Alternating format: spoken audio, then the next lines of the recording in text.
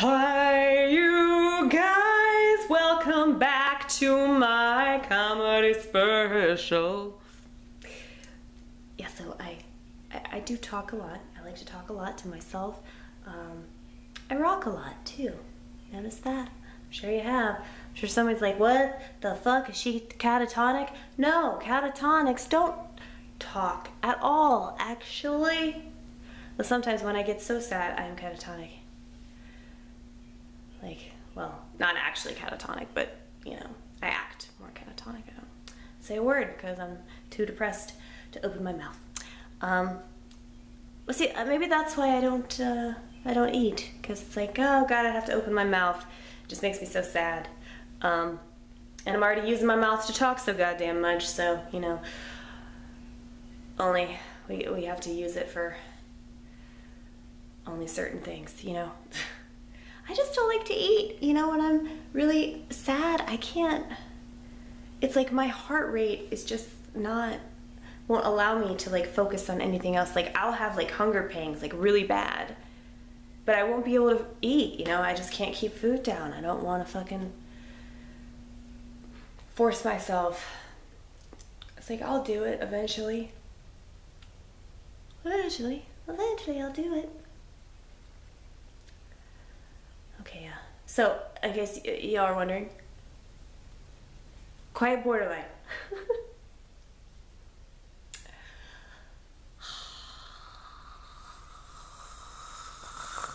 That's why I, I, I go in and out of like characters and I talk to myself. Like, that's my other, hey, hey. You know, she's me she's a part of me. She's like an extension of myself. Only she's she's the one that's responsible for giving birth to the unicorn dick that i talk a lot about. And uh, you know she's she's the critic. So i guess i imagine a man to be living inside my head that that that's always like critiquing me. So it's like my father really. Um, oh my god. Did you know that you're really my dad? Oh my goodness. Um, my dad's very old school, very conservative, very vanilla. Vanilla with a capital V. Vanilla all caps, really. All caps in a black Sharpie pen on a billboard. That's my dad. Um, but I, I do love him, and uh, I know that he loves me. But it's kind of like we don't understand each other at all, you know? I tried. I tried because I watched Mad Men, and uh, I really do understand where he's coming from you know? But it sucks because he doesn't get this. But i mean i would never tell him like watch my comedy. If you want to understand it do don't you know? I mean he can't watch fucking robin williams. Like there's no way that he could watch my shit because it's too dirty.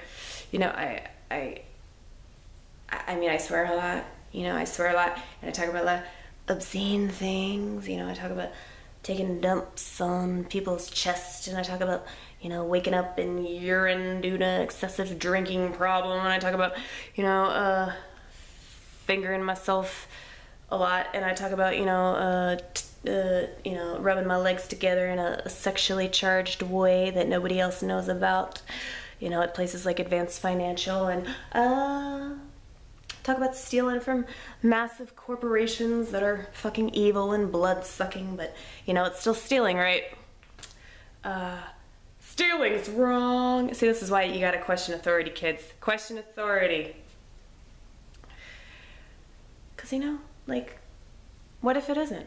You know, this is a this is an evil blood-sucking corporation I, I, that makes way too much money. I mean, they make so much money they could like feed so many people. They could they could like probably feed like all of Africa with like all the money that fucking Waltons make. Fuck them. Fuck them steal the fuck out of Walmart. Next time you're at the Walmart, like it's not very smart to go into a place and not buy something. I will say that. That's how you get away with stealing a lot more because like if you just buy something, just buy something small, you know, like a you know, some chapstick. That's like a dollar, right? Those rollback prices. Yeah, and then just steal the fuck. The thing is, it doesn't matter though if you steal the fuck out of that place because you know that, that they make so much fucking money that there's no way they would ever go down. But but if if everybody does their part, if everybody steals from Walmart, I'm sorry, if everybody steals from the Walmart, do you have any idea the difference that we could make? Maybe we could take down like all the Walmarts in like Duluth or like all the Walmarts in Peoria or all the Walmarts in uh, Albany. I don't know. It's just like it's just a dream. It's just a dream that I have. Uh, you guys don't have to live in that dream with me, but whatever. You're you're retarded. See, I've already done my part. I stole the fuck out of that place a long time ago, and I can't do it anymore because my honesty won't allow me to. Because I can't be honest with everybody. Unfortunately, you know. You gotta lie to somebody about it. I mean, it's like you're lying by omission, you know, but you can't really like declare, like, I'm stealing this. Thanks. you know, five finger discount. I like 10 finger discount. Shit. Y'all are just stealing with one hand. Lame. You better get on your shit. better better be a little more proactive, buddy. Buddy, buddy. I like when people say buddy. My friend Brad Edwards, he says that all the time. It like annoys me. Something fierce. I just feel like a lot of people say buddy just because, you know, they kind of want to make things like less awkward, but I feel like it makes things more awkward. Like if you say something, like if you try to like like say some sort of like pet name or like a name that you say to everybody, then it just seems like it's impersonal. You know? It's like if you call everybody buddy, then I'm not your real buddy, buddy. You know? It's just annoying. It's a, it's a problem that I have. Oh, but I still love you, Brad. I still love you very much still fuck the shit out of you. Anyway.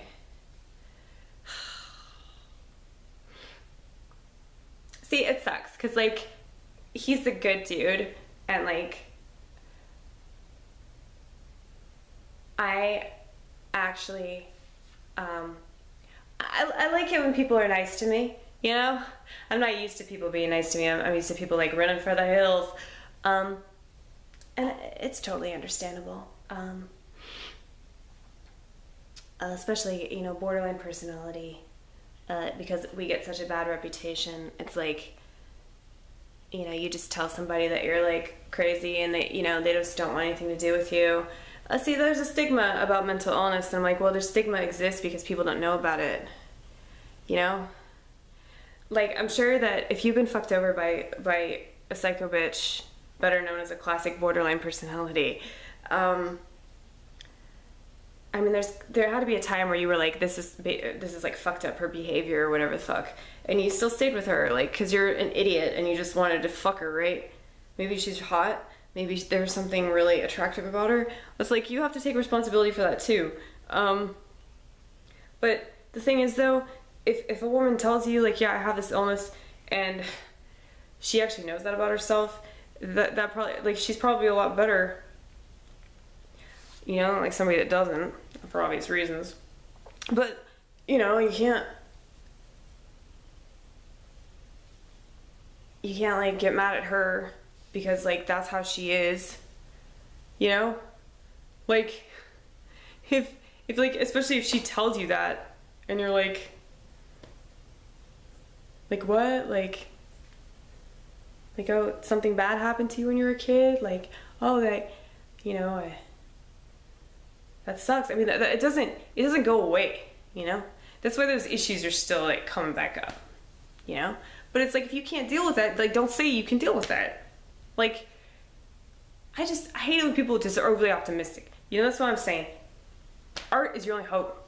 If you're borderline, just do that. The only hope for you, and, and you know, if you find love, the the person uh, that you find is probably gonna be like you. You know, uh, Cause I just don't think it's fair for like a borderline to try to be with somebody that's not on that same level because it's it's such an excruciating thing. It's such a taxing, overwhelming thing, and it's like you know, let's face it, normal people just can't do it. Y'all are pansies. Um, well-adjusted people, fuck you. Obviously, don't know how guns work. Maybe John Hancock could help me out. Shout to John Hancock. He's one of my favorite people in the comedy scene of Nashville because um, he's really funny and he likes guns. I'm probably gonna subscribe to his YouTube channel. He has like a YouTube channel devoted to his uh, guns, I, I guess, um, and uh, that's cool. I don't really like guns personally, and the the only reason I don't like him is because of you know, well, we're suicidal, so it's not very good idea for us to even hold one. Um, we're also homicidal too, so. But here's the thing: all that homicidal, all those homicidal tendencies, you know, they just turn inward. You know, um, like so I'll give you an example. Um, I really uh, wanted to kill myself the other day because this couple came in to my workplace. I, I work at a, a fast food juncture, and uh, it just made me really depressed. Like seeing this couple come in, and it's like they were on a date. Like they were obviously on a date. Like I could tell by their like behavior and I was like, God, like they're eating at a Wendy's on a Tuesday, like on a date. Like it was just so depressing to me. Like I No, it wasn't a Tuesday, it was like a Friday. Oh my god, it was a Friday. They were eating at a Wendy's on a Friday. To like celebrate something, like their love or like, "Oh, we've been together for 2 months." You know, girls are so stupid. They're like, oh my god, let's celebrate this pointless thing that happened, like us getting together. it just, I don't know. It's like every everything, and I get it, like because I'm like really stupidly sentimental about stuff. But it's like for my own personal reasons. Like I just don't involve anybody else in it. You know. I'm so much cooler, you know, than other girls because you know, I, I just live in my own little world. Like, that's a good thing about me, I guess. Like, you don't have to worry about me nagging you because I'm too busy nagging my bean. Nagging my bean, oh yeah. That's right. You want to nag at my bean, baby? I don't even know what the fuck I'm talking about. See Brad Edwards, he he he said something about me flicking the bean. I'm like, that's not even how I do it most of the time. I just do it with my legs because it's so much easier. It's like quicker and more efficient, you know? That's why I masturbate in public. Ah, see, y'all are on your smartphone. No, see, like nobody's gonna notice, like, if I'm masturbating, like right next to them, because they're like too busy, like looking up something on Reddit, you know? So hilarious. It's like everyone's like so entranced, so entranced by this, by the white screen. You know? It's just sad. It's just so that like we don't, you know, look up at the fucking aliens. Or look down at the fucking aliens. Like aliens are everywhere. They're coming out, man. They're coming out. I don't care like how fucking crazy I sound. I'm right about everything, about except you know things I'm wrong about. But I'm definitely not wrong about the aliens. They're here. They've been here for a long time, but they're finally getting acknowledged. Except you know by people that are like Trump supporters. no, just here's the thing, y'all. Think for yourself. Like, why do you why do you have to vote? Like voting is like specifically like not thinking for yourself. It's like you're just thinking along like the lines of like all these other people that are, you know, don't even know why they're voting, but they're just like told like, oh, this is what you do. This is what you do if you're a citizen of this country and you have the ability. You try to formulate the way that you look at the world through these people that are going to do nothing but lie to you. Like, it's ridiculous. Like, it's like if I based my view on the world on like, uh, like Hillary Clinton, you know? Fuck that bitch. I, I just didn't trust her, you know? It's like she might be really smart and she might be a lot better qualified or whatever, but it's like something about her, man. Something about her. I don't like her. I don't like her at all. she, I mean, she's married to a pedophile. You know, he's a fucking pedophile. Y'all don't know about that shit? He'll come out. Yeah. No, I'm sorry. Like, if I was married to that fucking bitch, like, I'd probably, you know, look at seven seven year old girls a little differently, you know. Just kidding. I can't even joke about that. Um, but yeah, it's it's it's just it's stupid. It's it's stupid that people like put faith in stuff that they don't really have faith in. You know, but it's like they tell themselves that they have to do it, or they tell themselves like, "Oh, this is my responsibility," or "This is this is what I this is what I'm supposed to do." I'm like, you're not supposed to do anything. Like, why can't you question things? What are you so afraid of discovering? That maybe this is all a fucking sham? It is. Don't. I guess. I guess you're probably not gonna watch any more of my comedy. Boo fucking who? I don't. I don't fucking miss your seal of approval. I don't need it anyway. You know. I don't need anybody's seal of approval. That's why I'm just talking to fucking nobody out here, man. Cause this is a lot better. This is a lot better than me talking to you know real people that are really gonna shake their heads and start crying and get upset because I say something that they could possibly attribute to themselves and they don't like it. I mean, well, maybe you should change that about yourself, or maybe you should be less of a shithead. How about that? You know? So if I say something and you get offended by it because you think that I'm talking about you, well, first of all, I'm not talking about you. Like, I really don't have, like, I have generalized people like I anybody I talk to or anybody I talk about rather. It's gonna be like uh you know like a a whole country of, of people you know that that I hate. You know like like there are plenty of people I'll give you an example. I know y'all need examples right? I know you do. Um but like uh um say uh what are we talking about oh my god country of people okay back to that okay we're all doing this you know perhaps there are you know out of all the millions of people that are doing this for stupid reasons there might be a hundred people that are doing this and they might be looking up some information on Syria. Or, you know, they might they might be reading about themselves and, and ways that they can help themselves and, and do something better than go see a shrink. Um, you know, maybe uh, they're looking up all the different ways that they can cook with cannabis. Uh, you know, tons of useful shit on the internet, y'all. Tons of useful shit. Um, and uh, I, it's just, I don't want to make it seem like like I think that everybody is like that. But I mean, I do. I, I, I see people like that. It's just a characteristic of my illness. It's like a black or white kind of thing. Like I just I have tunnel vision. You call tunnel vision, I call it passion, baby, passion. So like, you know, I, I see I see people like as these, you know, stereotypes, I guess.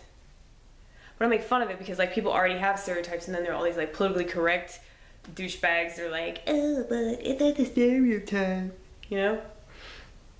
Okay, I have a I have a joke for all my gays out there. My gays, I love my gays. It's Pride Week, so I can I can say this. Yay! I mean, I could say this anytime because yeah, they got their rights. Woohoo! See, I'm bisexual.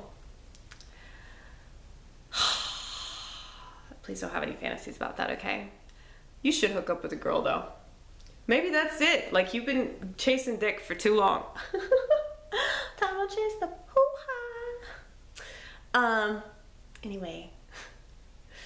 What are you talking about? God damn it. Lesbos? We're talking about lesbos? Gays.